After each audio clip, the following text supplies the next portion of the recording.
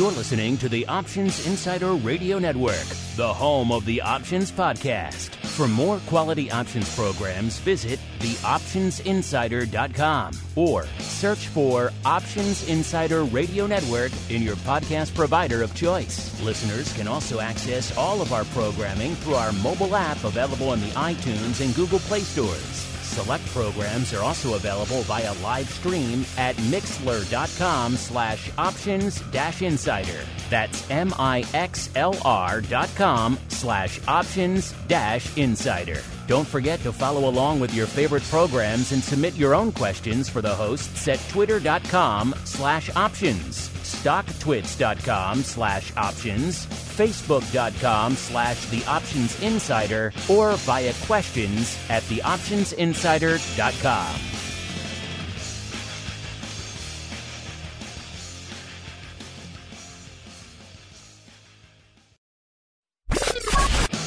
And now, it's time for the show that breaks down the options market from unusual activity alerts to market analysis, strategy overviews, listener questions, and much more. If it involves puts and calls, then our all star panel will break it down. It's time to hit the option block with your host, Mark Longo from the Options Insider Media Group and co hosts Uncle Mike Tosaw from St. Charles Wealth Management, Mark the Greasy Meatball Sebastian from OptionPit.com, Andrew the Rock Lobster, Giovinazzi from OptionPit.com, and Henry the Flowmaster Schwartz from Cboe.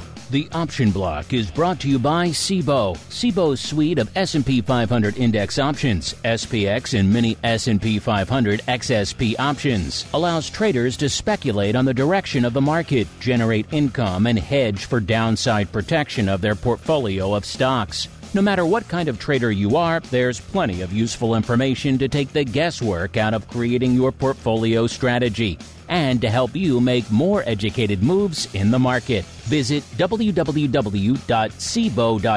slash SPX today to learn more.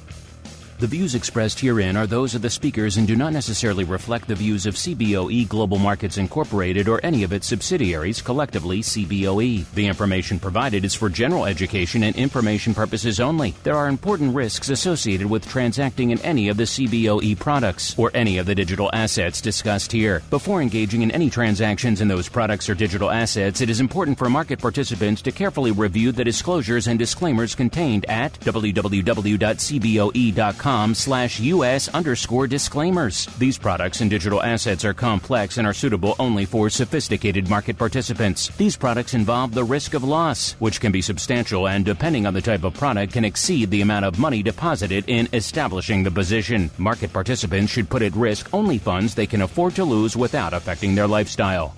And now, get ready to hit the option block.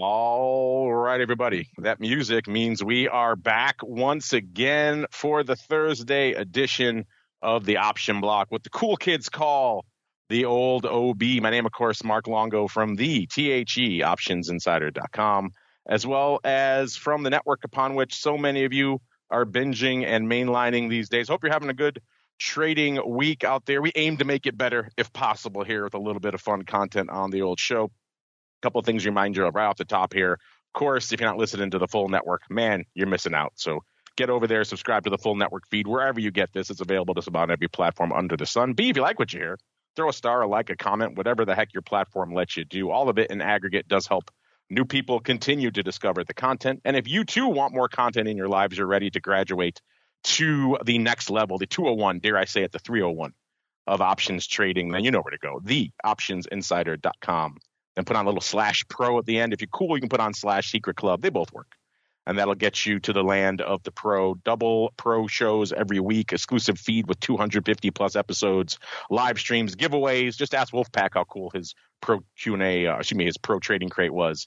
Uh, pretty cool stuff. All sorts of fun stuff there. TheOptionsInsider.com slash pro is the place to go. As we go around the horn, no Uncle Mike today.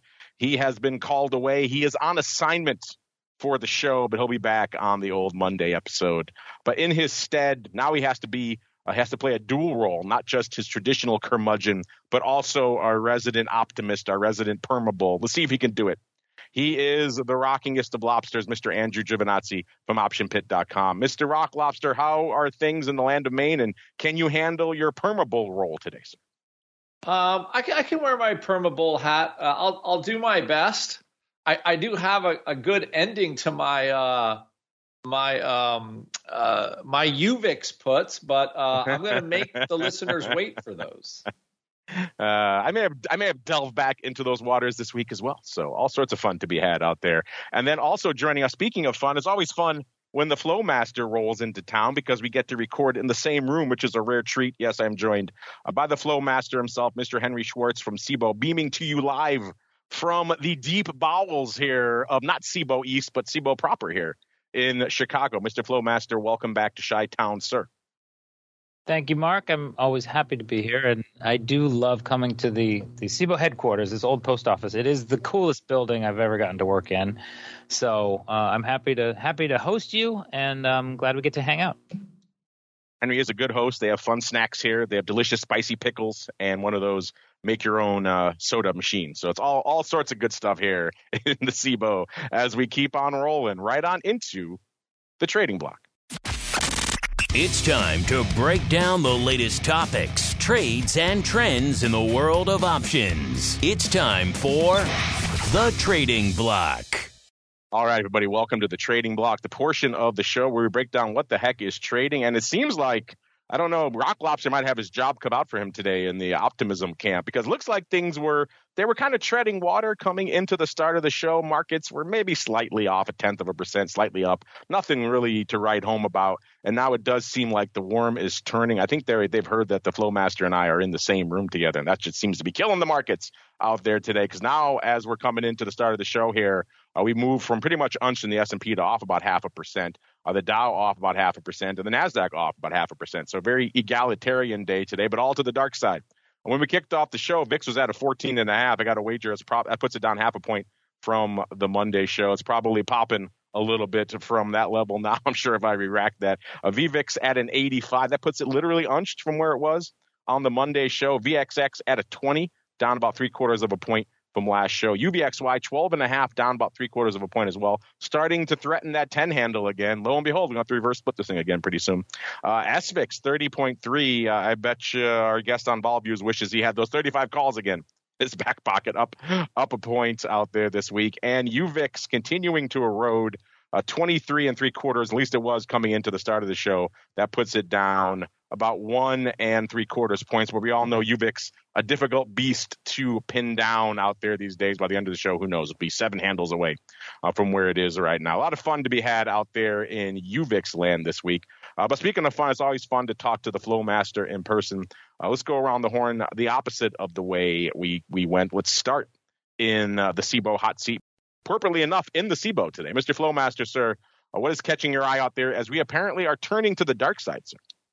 Yeah, I was just digging into why we we went from dead flat and, and one of the quietest days we've seen in, in weeks to down about twenty, uh, you know, which is a pretty decent move for you know, almost half a percent very quickly, right? Uh, right about when we sat down together. So I haven't seen any news yet, uh, but I was looking at you know we we had a pretty amazing turnaround from you know the the fear we were seeing about ten days ago to uh, just the most optimistic, you know, sentiment that we've seen in a while, right? We had, I think we had eight or nine days basically straight up for almost all the averages, definitely SPX.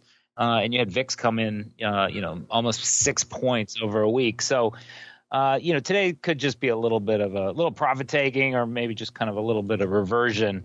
Um, but, you know, all of the kind of the, the news that I'm seeing and the people I'm listening to, uh, you know, the sentiment really has turned away from some of the fear that we were seeing, and you know, people are people are kind of in a good mood. Good mood indeed out there, which is uh, we'll see if that persists as this sell off today. Uh, we'll see if that persists as well. Uh, let's go out to the man doing double duty today, both the optimist and the diehard pessimist that he is at heart. Uh, Mr. Rock Lobster, sir, what is catching your eye out there in today's looks like a downturn in market? Uh, yeah. Are, are, you guys both recording from the Cboe, or is this Henry's at Cboe at the Cboe no, no, building? Both, both in the same. I'm reaching out. I am touching Henry right now. I can I can confirm that. Ouch! Stop it. so are you? So the, I guess I, you know what I was going to say something, but I, I I'm letting it. I'm letting the idea pass before I actually say it because this is a G-rated show and my mother does listen to it. All right. So, oh my, yeah. You know what? Once again, uh, I think bond auction problems. There was another week uh, bond auction, and I'm going to keep going on my theory that the ridiculous spending by the federal government will not be a problem until it is. But I guess at some point they could stop spending money, but we all know that's never going to happen. Although the bond market is in control of it to a large degree. So, um, you know, with that being said, right now this this auction was definitely a little weaker, and all we're going to get out of it is looks like around what down a half, less than half a percent. So as much as again the same theory is doesn't matter till it matters. I don't think it still matters that much, although it does uh, when you're when the market's looking for um, a little downside move or looking for a reason to sell off, and when the, it's kind of thin, that's certainly a good enough reason. So, and I think that's that's where we find ourselves. I think we're looking for. Uh, there has definitely been some good stories. Uh, Q story is pretty good. Um, still, you know, it's still strong. Apparently, everybody is just running to those stocks, and that's and that's where everybody is. There's no there's no like there's no middle ground on it anywhere. It's just okay, we're just going to run to the Q stocks, or if it's uh like one of the fat drugs like Ozempic, you're buying Lilly or Novo Nordisk. Um, I don't even know if I pronounced that right, but it's whatever that Novo stock is in you know the Netherlands or whatever. Um, like, but they're not buying anything else, and it's quite a um, you know, I think that's what we got. The rest of the market, there still could be. It would be nice to have a little bit more participation, but um, it's just it's not you know it's not materializing as much yet. So, and then we have, of course, Powell will say more stuff this afternoon, but I don't think he needs to raise rates anymore because the bond market is doing all the work for him at this point. I think his he has done his job. He has gotten rates high enough, and it's kind of hard to not pay attention to the level that they're at. Kind of hard indeed. This is the point of the show. If Uncle Mike was here, that he'd be telling us all to get on the boat with the 10 year note. Interesting discussion of rates and some of the importance of round numbers on TWIFO. A rare early TWIFO this week, listener. So no TWIFO after the show today because you already heard it. You already got it yesterday. We were joined by our buddy, uh, Mr. Blu Putnam over there, the chief chief economist over there in CME land to break down some fun research. If you want to hear research on rates and everything else uh, they have cooking under the sun over there, then check out that episode if you haven't already. After you're done listening to this one, of course. But Mr. Flowmaster, you were regaling us, or you were regaling me, I should say. There was no one else in the room. you were regaling me before we started the show with your size trade out there in all things zero day, which you think you speculated may have been sizable enough to turn the market to the red, sir. So uh, break it down for us, sir. What were you slinging? Uh, it's possible I spooked the market. I did actually trade a five lot of SPX right before we sat down. Not that I anticipated anything, but but I, I will tell you what I was. I, I, I, actually was thinking about leverage, and, and I, I got to see Tom Sosnoff speak twice in the last week. He was at a Bloomberg panel uh, two days ago and at SIFMA the week before, which was a conference. And he was talking about leverage, uh, and it was funny he has some some strong talking points, and they're really interesting. And he knows the business uh, so well. It really is interesting to hear him speak. But he was what he was a little bit complaining about was kind of the differences in leverage between equity and futures and options, and and it got me thinking on options. So I did a I actually wrote a little query to pull out the effective leverage uh, from the SPX zero day complex and the, the, simplest way I could think of doing that was just basically taking the 50 delta options uh, in SPX over the course of the day, dividing the price uh, by the delta, so basically doubling the price of an at the money or, or think about just taking the straddle price. And then seeing how much, uh, basically, how much buying power you were getting in terms of delta.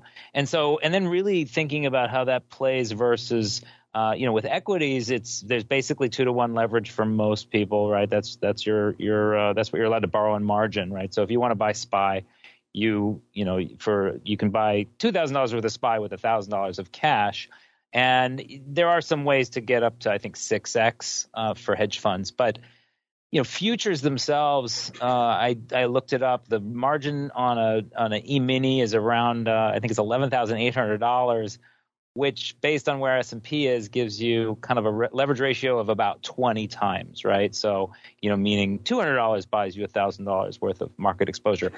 And then what was interesting is in my little query is you you have to think about what the price of an option is getting you, right? Now you can buy a deep in the money call and and you know we, we all know that's basically a delta of 1 to 1, so if you buy a $20 call, uh, on a forty four hundred dollar index, it's gonna you know that's what you're controlling. But by doing it by just looking at the at the monies, I it, it, struck me that the leverage you get kind of as the day progresses and that straddle gets cheaper, the leverage is going up, right? If you think about it, the very very end of the day, the leverage is almost infinite in a way because an option that's you know down to thirty cents, if if it if it is getting you delta, is uh, is a huge ratio. But what was interesting was midday. I was looking at basically when the straddle was trading around twelve ish dollars, which you know, kind of with VIX where it is and VIX one D where it is specifically, um, that that's kind of about your one p.m.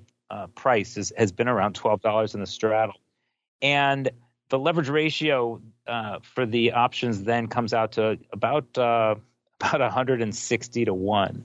So today's trade really was I was just kind of thinking about the you know what side of that you want to be on. And you know we've talked about the zero day flow. I've talked about it many times and there are a lot of premium sellers in there.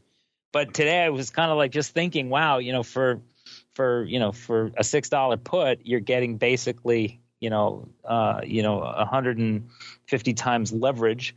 And I got lucky. The market sold off, and I, I had left a limit order out there to sell it. So I just took some took some quick profits. Pays for pays for the lunch that I'll buy Mark after the after we record this. Map, Map Serpent and Turf to go then after this. No, I'll buy you a taco downstairs. but that was you know it's just it's it's really interesting me to me. I love digging into the data and with options, you can get lost in the you know the binomial tree and the Black Scholes Merton model and everything else. But to just kind of the the the, the most refreshing thing about the zero day pricing to me is it, you can think about it very simplistically, right? Like if you buy a straddle for twenty dollars, how much does the market need to move for you to make any money? Well, the answer is twenty dollars, right? So. Uh, I just had some fun digging into it, and I think it's important to keep in mind. Uh, you know, there are times where that that leverage is very, very powerful, right? It's also very dangerous, uh, and people need to understand what they're doing. And I think that's you know Tom's point was was really that it's also a little bit. It can be problematic when there's such a difference in leverage ratios between futures and stock, and you know options are kind of their own special uh, animal because they decay, and therefore the leverage is, is going to naturally be increasing. Um, but it's just it, w- it was my exercise for the week, and um, uh, I thought it was really interesting. Very interesting indeed, sir. I'm looking forward to that uh, surf and turf to go uh, for a lunch here on the back of Henry's size five lot out there. Uh, but let's get into speaking of Henry and his data. Let's let's crunch some more numbers on Henry's data, shall we? Courtesy of all things, a trade alert out there. And as Henry mentioned, uh, to kick off the day. It isn't the most action packed uh, Thursday that we've seen. Uh, certainly, just even in the last couple of weeks, we've seen a lot of bangers out there of late. Today, not exactly falling into that category.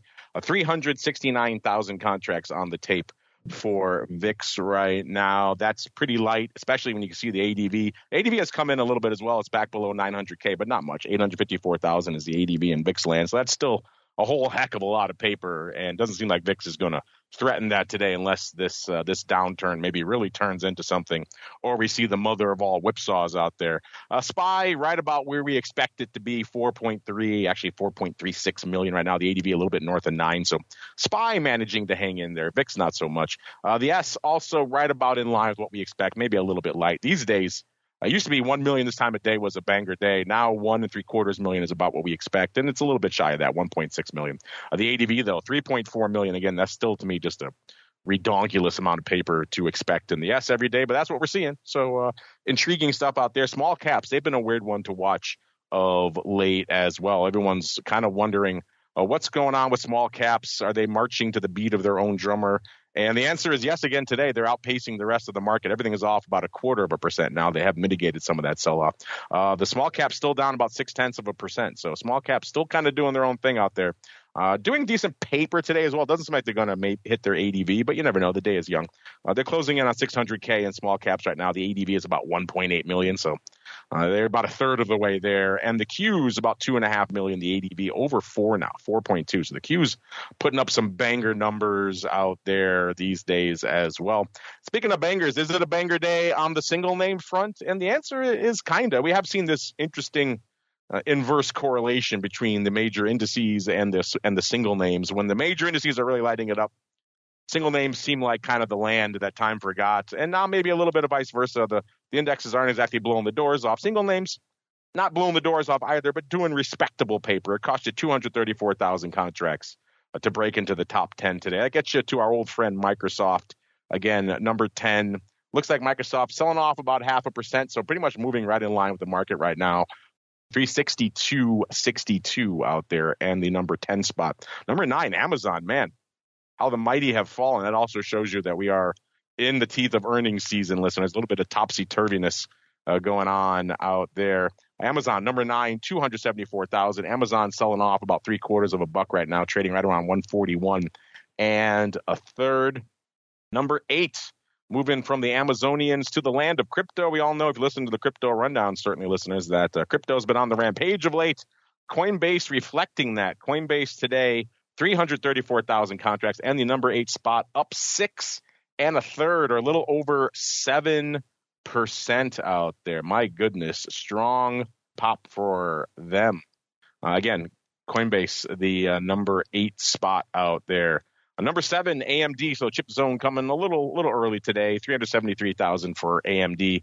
AMD right now up about a buck and a quarter, trading one fourteen eighty five out there for AMD. Number six, another A name right behind it, AMC. 376,000 contracts. They're coming for AMD today, though. 885 is where it's trading right now, off about a point and a quarter, a little over 12%. So, not a great day to be uh, the reigning king of the apes, but we all know that could change on a dime. Now, some of these names are seeing in here today. This is uh, 2021 all over again. We have Coinbase in there, we have AMC, and now right behind it, number five listeners. Uh, Mara, haven't seen Mara in the top 10 in quite some time and popping back in there today at number five. Marathon Digital Holdings, $9.58, up about a little over a buck or about 12%. So similar 12% pops for Coinbase and for Mara today. Uh, Mara, for a lot of you, is one of your most popular surrogates, certainly from an optionable perspective uh, for all things crypto out there. We've done these surveys in the past. What do you guys prefer to trade your crypto options on and get your crypto options exposure? Is it straight, let's say, BITO, or is it Coinbase, or is it Mara? And a lot of you like to come down on Mara. Popping hard today, again, a little over a buck and good for the number five spot out there, 448,000 contracts in Maryland. Number four, the Diz catching a little bit of a lift out there after hearing this narrative forever that their streaming is garbage. They can't make any money on it. Apparently, they at least reversed that slide, at least for now. Diz popping hard today, $90.82. So closing in on 91 bucks. They were just 78, 79 not too long ago. Up six and a third today, or about seven and a half percent. Good for the number four spot. 465,000 contracts on the tape for them.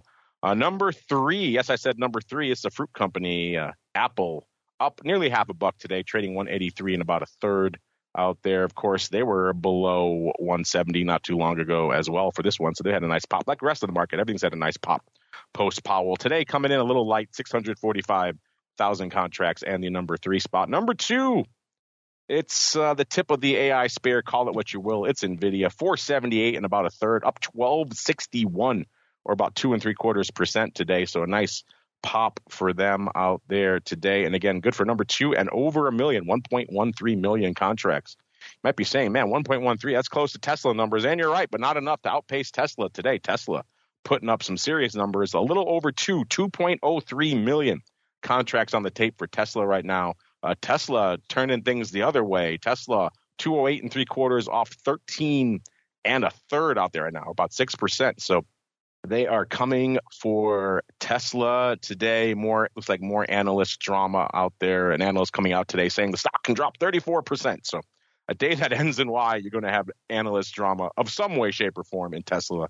Today, it seems like it's to the dark side. By the way, it's putting up 2 million contracts in terms of putting up volume, we are again in the teeth of a pretty robust earnings season, listeners. Big names popping off this week. We had Uber and Rivian and Gilead and Bumble. We're going to come back to that one, I think, a little bit later. Bumble, that was on Tuesday. eBay, the first report from TKO Group out there. Does WWE and UFC combine? Do they make money? Well, we found out this week. Wednesday, Roblox, Warner Brothers Discovery, Under Armour, the aforementioned AMC, and the aforementioned Diz, as well as Lyft. Today we have, oh, some company I never heard of, Mr. Rock Lobster, called Oatly. I'm not familiar with that one. Uh, Yeti and Krispy Kreme. And tomorrow we've got our friend StoneCo. Lucky for you folks, we have hot in our little hands here. Uh, we have new updated earnings move reports. Let's do the results really quickly. You guys can see all these for yourselves on the website. Uh, some big names popping off this morning. Obviously, Disney, probably one of the biggest. Uh, they went into their announcement 84 and a half. They were pricing in 6%, and they delivered 6.3% coming in right out of their earnings. So Disney moving pretty much in line with their straddle out there, listeners, uh, which is kind of interesting out there. Let's keep on rolling. Let's go out to before the bell. We had Krispy Kreme today as well. They were at 13, almost 13 and a half going into their announcement. They were pricing at 8.3%.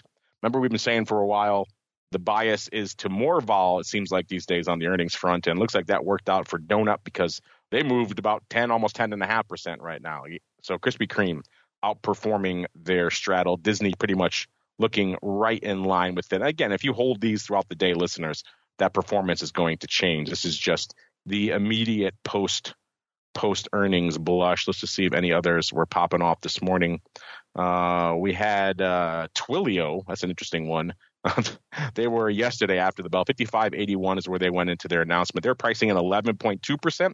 They delivered about half of that, about 5.5%. So not exactly a banger day for them. Maybe uh, the exception that proves the rule to the buying of premium this cycle, listeners. And then let's go out to, let's just look here really quickly. Well, there's a ton popping off today, listeners. You could check all of those as well, unless you're unless you're super excited about Yeti Holdings. I know a lot of you are out there, listeners. Yeti Holdings uh, today before the bell, 39 in the third. They're pricing in, get this, 11.2% listeners. Uh, they delivered one and a half percent. So my goodness, they they did a whole heck of a lot of nothing. And now they're almost literally unched. They're off about four cents. so their their stock has not budged, and they were pricing in over eleven percent. So this might be the uh, the premium sale of the cycle right here, listeners. Let's go out to Lyft. They were yesterday after the bell as well. They went into their announcement ten and three quarters, and they were pricing in thirteen percent, listeners. And at the time we ran this report, they had moved less than one percent.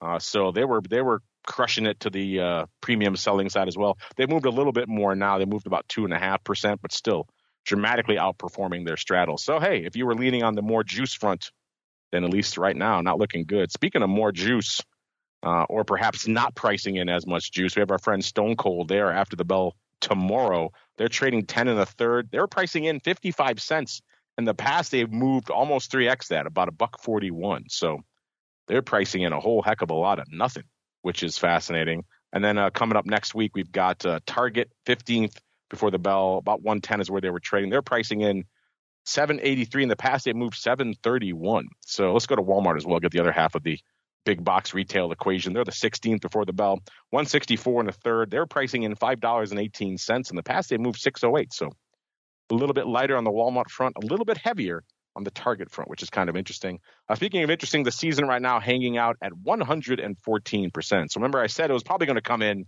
and that is indeed the case. So 649 names reporting. Uh, we have come in from whatever it was to start the, the season, a ridiculous 133%. We're now down at a still ridiculous but more but more reasonable 114%. Our long-term average is exactly even, is exactly 100%. So I guess I guess they've been getting it right out there of late, listeners. Speaking of getting it right, let's see if it's our turn to do that, listeners. It is time for the odd block. It's time to break down the most interesting, unusual, and downright questionable options activity that's been identified by theoptionsinsider.com. It's time for the Odd Block.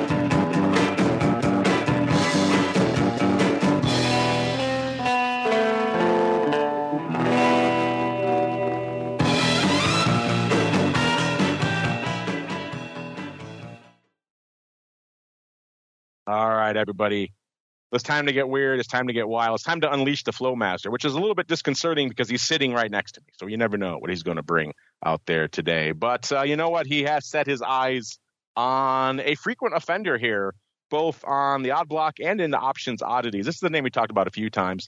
Uh, this is Bumble, aka uh, the site, the destination for ladies looking for love. Trading a little bit shy of 14 bucks right now, 1392. But if you look at it on the year, it's been a bit of a rough year. It's off about seven bucks or about a fully a third, 33%. Uh, the high came, there we go. The high was t- almost 28 bucks, 27.92. That was back in February, right on February 2nd, right in the high when a lot of the market hit their high then. And uh, Bumble right along with it. And then ever since then, it's been pretty much dark side.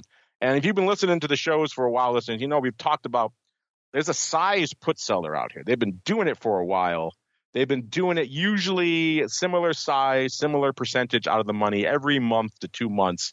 And it's mostly been working out. They've mostly been keeping a lot of the premium that they've been collecting out. I'm hard pressed to think of any time really where they've had the stock put to them, but I'll have to go back and look for myself. Uh, but that said, Mr. Flowmaster, seems like you have uncovered them yet again. They're back to business out there in Bumble, sir. What did you find? Well, yeah, this is a kind of an example of why it's nice to kind of keep an eye on the markets, and you know anybody can kind of look at at flow and say, oh, gee, the option volume's you know six times normal, uh, but you start to see some patterns. And I actually was talking to a colleague of mine or an ex-colleague, and you know he actually said that one of the one of the a very important part of the way that the bank he used to work at made money was by knowing which clients uh, were were very smart in terms of maybe delta or volatility moves, and basically kind of knowing which trades you wanted to aggressively hedge, or maybe which kind of trades uh, you you might not need to hedge. So, and this one in Bumble is is as you said, it's really similar to something we've seen a few times. So yesterday we saw we saw so it's an interesting one though because the data was a little tricky. Twenty four thousand four hundred of the D's 8th. Okay, so it's a month from yesterday. 11 strike puts traded for 11 cents. Now, the, the quote on the screen at the time was a nickel at 15 cents. So mid market was a dime, traded at 11. It's slightly above the midpoint. So, uh, you know, if, if you if you didn't have any additional information to go off of, you might guess that this was a put buyer. Traded in an auction facility, but that's very, very close to mid market, which you know we kind of know is is is harder to figure out. Uh, fortunately, I was able to see that uh, that some of the flow which hit the Cboe exchanges was actually a customer put seller. So, uh, and then you know I recall you know this is a, this they pocket about two hundred sixty eight thousand dollars in premium. This is a twenty percent downside strike because the stock was um, thirteen fifty eight at the time. And it's really similar to what we saw just a few weeks ago when 20,000 of these 10 puts were sold for 13 cents. And those are actually still open. So, you know, as you said, Mark, this, this customer seems to be um, very aggressive. You know, w- these are the things we call line in the sand because basically this is somebody taking a, a very large position that that the stock is not going to get down to their strike or if it does they're going to take a big big position in the stock because this is not a trade you're going to be able to get out of very well uh, if things get weird. So um, it's a bullish trade. It's a bullish trade in the form of a put seller. Uh, and you know, as we've seen, they've they've managed to adjust their other trades, even when the stock hasn't hasn't really gone up. Uh, I was able to find a few examples where the stock did sell off another 20 or 30 cents from when they got into the trade, but time decay worked in their favor, and they were able to you know keep that premium. Yes, I was looking here while you were talking. I was able to uncover the, the recent history of what is probably the same customer, maybe some more paper they they inspired uh, going back to June listeners. And it seems like that's that level. That's about their size. They're pocketing somewhere around a quarter of a million uh, per month out here doing this strategy. Going back to June, they sold the July 15 puts for 21 cents, 13,500 times. Those worked out. The stock was 17 and three quarters at the time, so they're talking a little over two, almost three bucks out of the money. Uh, the stock ended up closing at 18 and three quarters, so that worked out. They made close to 300 grand, about 283,000 on those. They sold the AUG 12 half puts for 24 cents, 15,000 times. They sold the AUG 15 puts 14,000 times when the stock was 1962 for around 20 cents. That one worked out. They made about exactly a quarter of a million on those. They sold 20,000 of the AUG 12 half puts for 26 cents when the stock was right about 17 bucks. Uh, those pretty much worked out as well. We have the SEP 15 puts for 26 cents, 15,000 times, and then 15,000 more for 28. Uh, so actually 7,000 times for 26 cents and then 15,000 times for 28 cents. So it's seemingly the same customer listener as the stock at the time. That was actually a little bit close for them. The stock was 16 and a half bucks and they sold the 15 put. So that was playing a little bit close to the fire for them. But in aggregate, these have pretty much worked out. Uh, we'll have to keep an eye on these ones from today and see if these are the latest to add to their their long litany of put profits. Mr. Rock Lobster, we've been talking about selling puts in Bumble for a while, you and I and they seem to mostly be working out. What do you think about this person diving back into the fray again today? Today's ones were the Dees 11s this time, and in the weeklies this time too. They don't usually play in the weeklies. So, what are your thoughts there? Mixing it up a little bit. Yeah, you know, every time I hear Bumble, I keep remembering like that um, that Santa Claus is coming to town, or the uh, Rudolph the Red-Nosed Reindeer. Remember, Bumbles Bumbles can't what are they? Bumbles can't swim. I don't know why, but every time I think of that, I hear that. Um, we have, you know what? We have seen this this this before in here several times, as you mentioned. So, uh, you know, I, I guess um, again, the line in the sand is still going strong. Um, I think, and this this person, I guess, just wants to own the stock at a lower price. I mean, it's there's still margin. I've I've, I've always tried to figure out the it's like, does somebody have like extra margin kicking around that does this strategy? Um, it's the only thing I can think of. Um, uh, there used to be a guy on the CBOE floor. Uh, I will not invoke his name like I did last time, and he used to do this, did it for years, and I think uh, 2008 wasn't great for him. But anyway, um, but yeah, but but whoever does this historically, I, am trying to remember. They might have gotten dinged once, and even then, I think they the stock came back. But it, it just looks like they keep doing the same thing. I mean, um, and it looks like uh, they think Bumble has a future. No surprise there. You know, uh, maybe one went against them, but I'm hard pressed to think of even that one. You're right. I think they mostly have all worked out and all for around that quarter of a million dollar level. Uh, so we'll see if these hit again for them, listeners. Speaking of hitting, uh, Mr. Flowmaster. It seems like your your trade of the day newsletter, which we keep, but not it's not a newsletter, it's trade of the day report, but we keep threatening to put this out to the masses.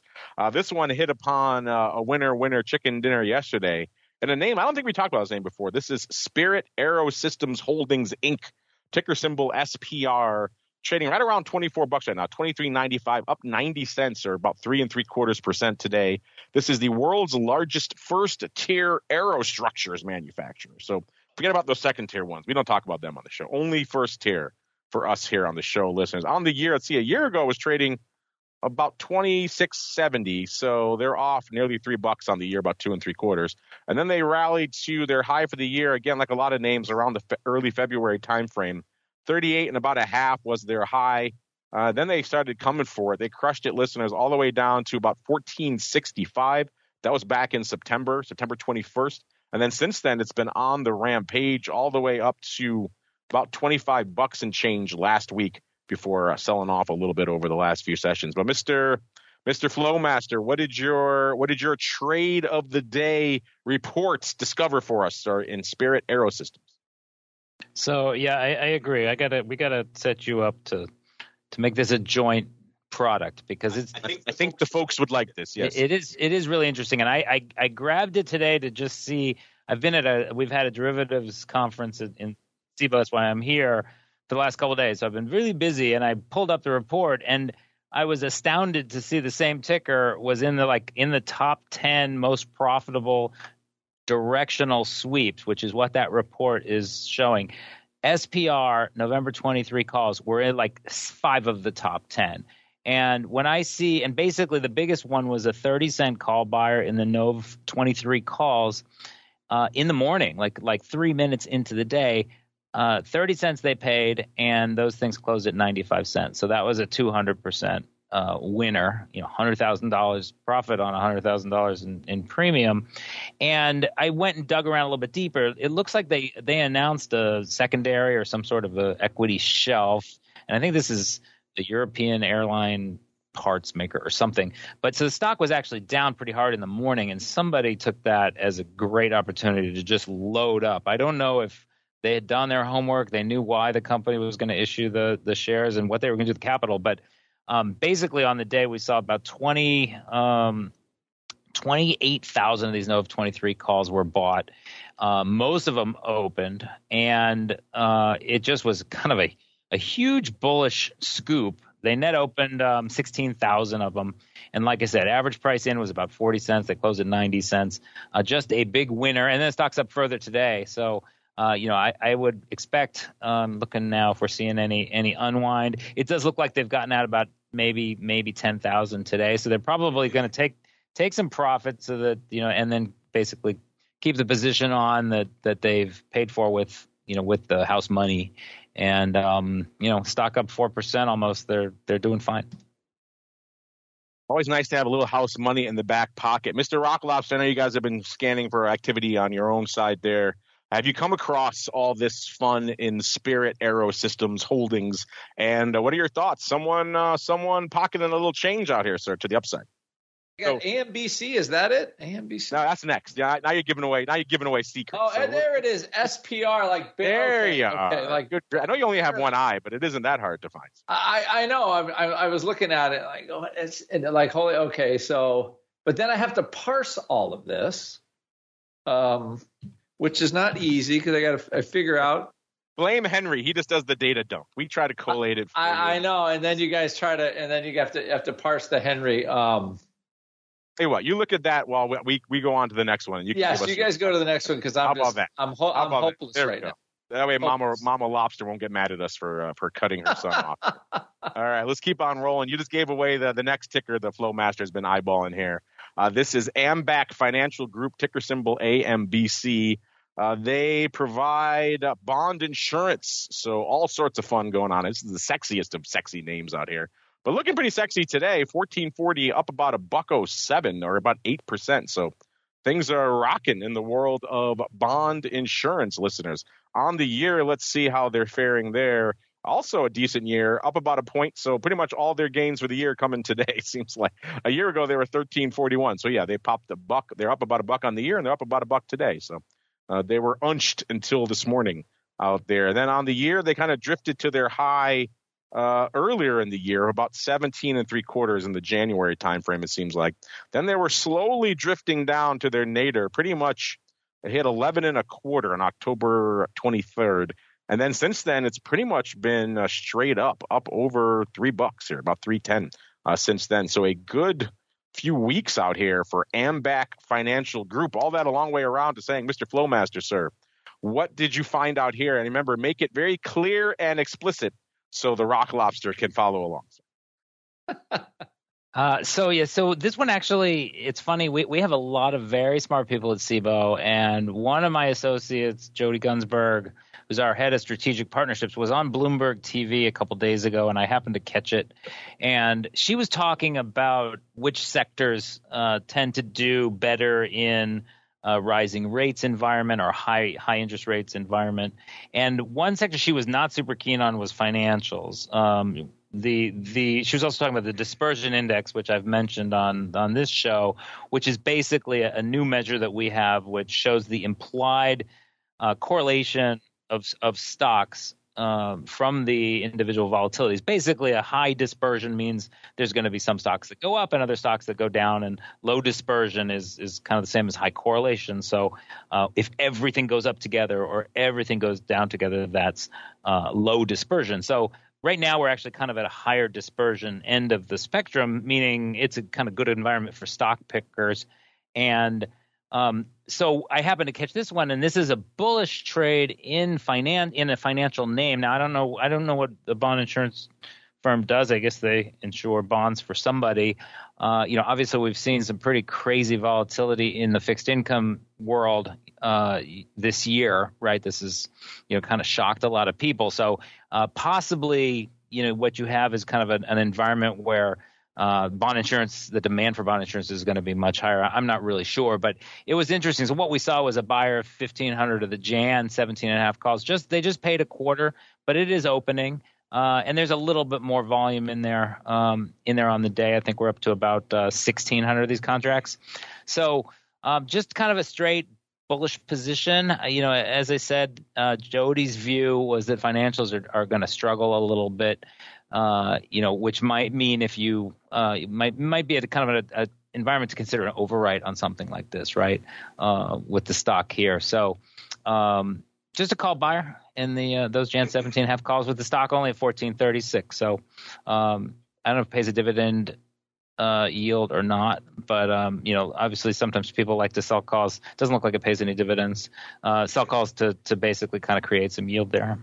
Think uh, a 18% out of the money call buyer and something as sleepy as bond insurance would be just a, a, road to ruin. And yet this name is popping hard over the last few weeks. So maybe they're on to something that we don't know. Mr. Rock Lobster, do you sense potentially some excitement in the otherwise sleepy realm of bond insurance, sir, for Ambac and the call buyer? Yeah, you know what? I would like this kind of call. Like, why would you ever buy these things? That's that's the first thing that screams out to me. Then the stock you pops know, a buck today. And, so yeah, I know Henry. You know, and he's he's like, wow, this is this is some odd. Yeah, yeah. You're like normally you would say, yeah, you would write these for a quarter and be happy. I mean, uh, but nobody would buy them. Um, so yeah, it does have kind of all the look and the whiff. Although there is, I do see 2,000 of the December 17 and a half puts trading kind of strangely. Um, I don't know if that's has anything to do with it. It's the same today. Um, yeah, but definitely like these these stocks kind of don't do much um, unless it's a disaster and the vol goes to the moon because you know they can't insure anything or they're blowing out or something like that. So odd one. Yeah, I would I would go with Henry's prognosis there that like these funk these financial companies going into higher rates is going to be a little suffering. Um, and then the SPR, somebody just cheated yesterday. They knew the stock was going to go up and they cheated because why why would this why would the stock go? They would be magically right on buying all those calls. So I'm trying to rescue myself from earlier, but looks like the cheaters made some money yesterday, or they're making it today in SPR. Cheaters making some cash. Uh, speaking of, mate, I don't know if they're cheaters or just or early early diver inners here. We had a couple we profiled on the Monday show. We could kind of come up against it. Maybe we can pay off one of these. Uh, let's go to let's go to the Monday show for the one that had earnings right after we did them. This was uh, this was from the Monday show. We talked about everyone's favorite out here, listeners, this was Gen Digital, the multinational software company co-headquartered in Tempe, Arizona, and Prague, Czech Republic. Everyone's favorite multinational digital platform. On the show, well, before we get there, really quick, let's break down the year again. Uh, a year ago, it was trading about 23 bucks, and that was also the high was 23.92. That came in the February, early February timeframe, and then they crushed it down to its low for the year of about 15 and a half. That was in May. Then they rallied it again up to about a little over 20, almost 21 bucks. That was back in August. Then they crushed it again back to about 16 and two thirds. Uh, that was right around the Halloween timeframe. And when we talked about it on Monday with earnings coming up the next morning, the stock was trading 17.55 and somebody was looking for a whole bunch of upside. They were scooping the Nove 18s. Uh, they bought 3,523 for 52 and a half cents. It looked like it was a bit of a sweep. Listen, they started buying them uh, earlier for 35 cents about 15 minutes earlier. They were 30 at 35. Then they came back and said, uh, "How are they now?" and they bought a thousand for 50 cents. So that market moved. They were 35 at 50 after that. It looks like they bought the balance 3,523 for 52 and a half cents. So quite a few of these Nove 18s were trading on the day. Total of 14,000 traded on the day. Not all of them in this print, obviously. And it looks like after they had earnings the next uh, day, these kind of worked out. Uh, the stock right now, listeners, nineteen dollars and twelve cents, so up quite a bit, up about a buck sixty or close to it from where it was uh, on the show on Monday. Uh, interestingly enough, they did fourteen thousand, but there are still about ten thousand open on this track. So it's like somebody may have taken off a few thousand immediately post earnings. Uh, but since then, looks like they're still riding these bad boys. And now these are Nove, so they have more time, listeners. These are not weekly, so they don't have to get out of them tomorrow. But we were saying on the Monday show, we're probably going to know if these worked out by the Thursday show, and that seems to be the case. Uh, Mr. Flowmaster, are, did you notice these from the Monday show? This size block of Nove 18s, and then what are your thoughts? It seems like a bit of a of a trend these days. People put on to trade, it works out their way, and then they just sit on them. They don't do anything with them. Have you noticed that as well, sir? What are your thoughts on these Gen Nove 18s? Uh, well, I didn't notice them. Is, is this crypto related or is this um, something else? I'm not even sure what the. This is just, just a multinational software company that provides cybersecurity. Oh, okay. I think these guys might own Norton LifeLock and those kinds of things. Um, I didn't see it, but we do see plenty of situations where you know somebody makes a trade, it goes their way. This happens in in hedges all the time, right? You buy, you know, somebody buys some puts as, as a portfolio hedge. The market dumps and instead of you know the the and there's research on this the the hedges have to be monetized and you know profitable trades i think basically if it's a you know if it's a trade that goes your way on and it's a speculative trade you just have to have a plan you know some people like to take off half and and get to break even or something like that um, but you know this almost might this might be one of those situations where uh, they just didn't quite you know they, they didn't capture anything uh, and you know you, you gotta you have to be disciplined about the plan. The Rock Lobster, what are your thoughts, sir? A whole boatload of the Nove 18s going their way, but not getting the heck out of Dodge, at least not yet, sir. Um, I, you know what? I, I I would like to say we haven't seen that before, but we have seen that before. Seen it like every day. It seems like. you know, and I, I one thing with my students, like the UVIX puts. You know, I had a target did not go as well as I wanted, uh, except obviously for the listeners that bought them for 15 cents. Now they traded 275. But yeah, some of our listeners chiming in. They uh, Christmas came early, as they said. So yeah, they, uh, yeah. they, it did. And uh, am I, you know, and I was like, okay, if I could just get out of Dodge at 275, make a little profit. I totally screwed up managing this, uh, but you still got to close. You know, options are meant to be closed. Like it's what I tell my students. You like if you're an investor, you can take delivery. If you're a trader, you need to close. Um, and that's how you tell the difference between the two.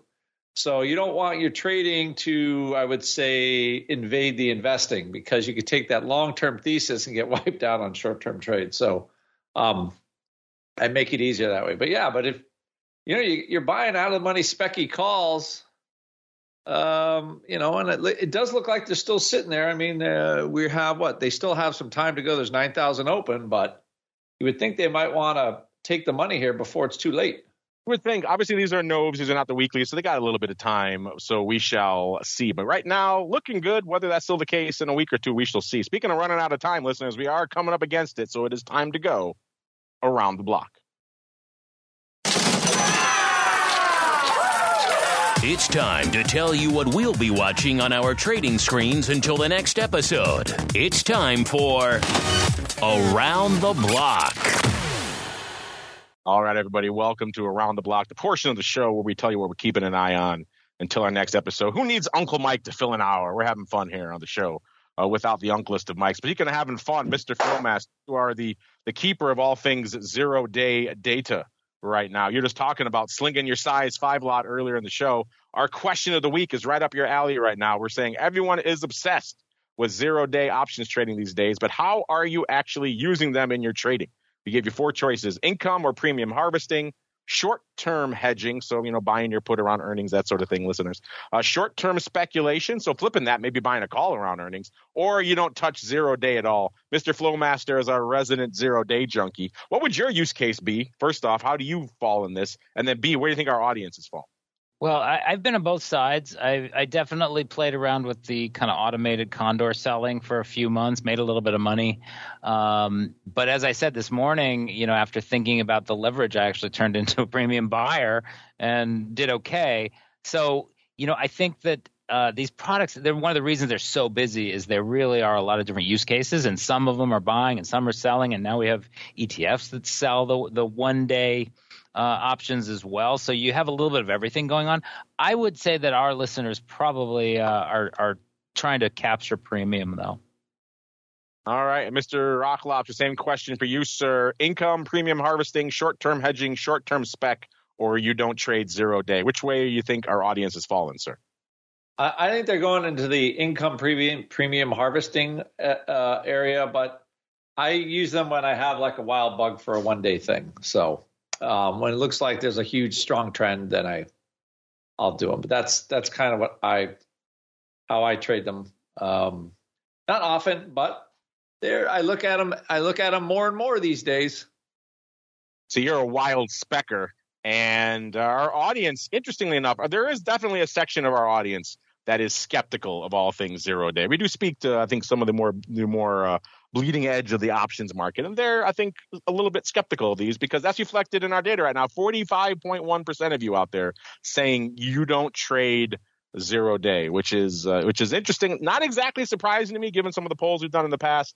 There definitely is a segment of our audience that is not enamored with all things zero day. Twenty nine point four percent right behind it saying income or premium harvesting. Then number three, short term spec, 15.7%. And bringing up the rear, the purpose for which you could argue they were created, short term hedging, only 9.8%. Get out there if you haven't voted yet, listeners. You got about a day left. Uh, here we got our one of our pro members, Age of Delaquaria, saying, I was a kid who understood not to play with matches. As an adult, I don't touch zero DTE either. Uh, you know what? You're, you're, clearly not alone. All, half of our audience right now saying uh, they're in that same ballpark. As we're coming up against it, so let's go around the block. Mr. Flowmaster, we'll start with you, sir. What are you keeping an eye on until your next appearance next Thursday, sir? Uh, well, I, I I just put some data up on LinkedIn, just kind of highlighting where we were in volume and you know, on the year, basically these zero day day options, they, it is the story of the year for sure, and it's also basically driving almost all the growth that we're seeing. So market volume is going to be up around eight percent, 11 billion contracts, 11.2. Uh, it's almost all from these new the, these new new shorter expirations that people are finding different ways to trade. Uh, and I will actually mention that in one of the times I saw Sosnoff speak, somebody asked him about the growth of the market, and he said he could he believes we're about five percent of the size that we could be. So meaning you know instead of 43 million contract days we should be seeing we could be seeing 220 million contract days which is i think a pretty pretty exciting view. I want, I want him to be right that's for sure. I'm not sure if i share his, his enthusiasm but talking a little bit of his book there but hey all of our book is that that's all of our book at the end of the day. Volume goes up it helps everybody. Uh, so yes let's all hope he is right uh, Mr. the same thing. What are you keeping an eye on until our next show on Monday, sir? Uh, well, this is our first red day in what, nine days? Uh, VIX up and SPX down, not liking the auction, and Powell's about to speak, so they're going to like that even less. Maybe, maybe, maybe not. I don't know. Um, but I will go with you know Sosnoff. You give him credit; he is pretty, pretty excellent marketer. So uh, maybe his uh, his nose is a little better than most on that score. So yeah, I a a higher amount of uh, contracts would be great, but I would like to see how we get past these Powell statements if the market actually holds up red today. But I have to say, if it if it's if it's a green day today, I think we're going to be off to the races because everybody will feel like it is all okay to get back in the water. Well, speaking of Sosnoff and all things tasty, the CEO of tastytrade will be joining us on the Monday show in the newly minted tastytrade hot seats. We can put it to him if he agrees with Tom on his outlook for uh, 220 million. So look forward to that on the Monday show, listeners. But that is going to do it for the Thursday episode. That's also going to do it for the network content today. Remember, you already got TWIFO yesterday, listeners. That's already in your hot little hands. But before we go, let's go around the block see what everyone has cooking that may interest you. Let's start with Mr. Rock Lobster, sir. If they want more rock lobster goodness in their lives, where should they go? What should they do, sir? Yeah, 888 trade 01 uh, for all of uh, the option goodies. If you heard this show, you get 10% off. Say Andrew sent you. So, uh, and that way I know all the all the yakking I do with Longo uh, has some value. So there you go. 24 and three quarters for UVIX. Glad I bailed on my puts yesterday morning. So that, that worked out there. We'll get to more of that fun on oddities, sir. OptionPit.com, the place to go. And Mr. Flowmaster, sir. If folks want to check out all these cool goodies I'm playing with during the show, so all the trade alert data, all the uh, all the bells and whistles, as well as maybe your cool uh, trade of the day report, can maybe coming to one of them soon. Where should they go? What should they do, sir? So Cboe.com slash RMA is where we have all of our platforms and data offerings. Uh, sadly, that trade of the day report is not yet accessible there, so you have to get a hold of me uh, some other way. You can always find me on LinkedIn or um, or just email Mark and he can help. Um, but I'm just going to be watching the market. You know, this, this derivative summit that we have at Cboe is just it's it's really such an amazing time to see the work we have going into different things. Analytics, we we had a nice discussion of the theoretical basing for uh, for all of the markets that we're monitoring, which now includes some inter- some international markets as well. So more to come, but Cboe.com/rma to, to bang around on our platforms. Check it out, listeners. And of course, he, he couldn't join us today. He was on assignment, but give him a bit of a follow as well at Mike Tosaw, T O S A W, on Twitter, or check out his website, stcharleswealth.com, the place to go. We got to get on out of here. Back again tomorrow, noon Central, 1 p.m. Eastern, with our buddy, the once and future Dr. Vix holding court on a little bit of volatility views. After that, exclusively for our pro folks with Options Oddities. So if you haven't joined the Secret Club yet, what are you doing, listener? Still time to get in on Options Oddities. I got a feeling we're going to break down some more UVIX fun on the show tomorrow, as well as all sorts of other fun trades that have been lighting up our radar. The optionsinsider.com slash pro, the place to go to learn more. Then we're back again on Monday with the folks from Tasty and another episode of the Option Block. Stay safe out there, everybody. The Option Block is brought to you by Cboe. Cboe's suite of S&P 500 index options, SPX and mini S&P 500 XSP options, allows traders to speculate on the direction of the market, generate income, and hedge for downside protection of their portfolio of stocks. No matter what kind of trader you are, there's plenty of useful information to take the guesswork out of creating your portfolio strategy and to help you make more educated moves in the market. Visit www.cboe.com slash SPX today to learn more. The views expressed herein are those of the speakers and do not necessarily reflect the views of CBOE Global Markets Incorporated or any of its subsidiaries, collectively CBOE. The information provided is for general education and information purposes only. There are important risks associated with transacting in any of the CBOE products or any of the digital assets discussed here. Before engaging in any transactions in those products or digital assets, it is important for market participants to carefully review the disclosures and disclaimers contained at www.cboe.com slash us underscore disclaimers. These products and digital assets are complex and are suitable only for sophisticated market participants. These products involve the risk of loss, which can be substantial and depending on the type of product can exceed the amount of money deposited in establishing the position. Market participants should put at risk only funds they can afford to lose without affecting their lifestyle.